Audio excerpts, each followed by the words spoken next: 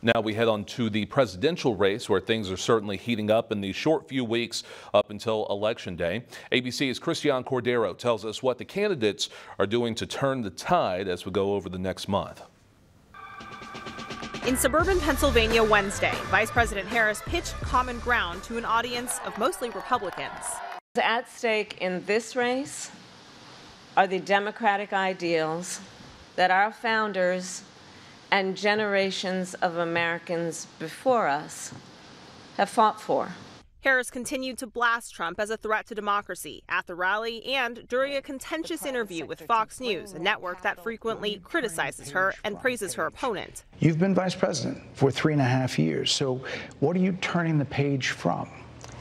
Well, first of all, turning the page from the last decade in which we've been burdened with the kind of rhetoric coming from Donald Trump that has been designed and implemented to divide our country and have Americans literally point fingers at each other. She repeatedly turned attention to Trump, calling into question his mental fitness.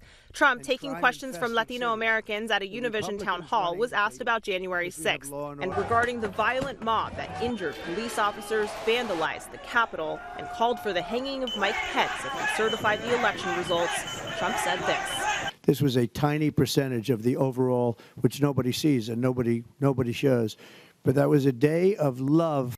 And when asked if he could explain his gun control policy to the parents of school shooting victims, Trump doubled down on the Second and Amendment. I, had no, I think that uh, if you ever tried to get rid of it, the uh, you wouldn't be able to do it. You wouldn't be able to take away the guns because people need that for security. On reproductive rights, Trump suggested some states need to redo the exceptions on abortion laws and coined himself as the father of IVF, which Harris said was bizarre.